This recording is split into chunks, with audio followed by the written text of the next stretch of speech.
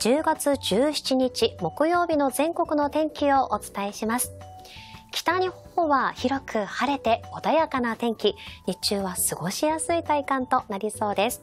一方、西日本から東日本は太平洋側ほど雲が広がり、雨の降る可能性があります。外出の際は折りたたみ傘があると安心です。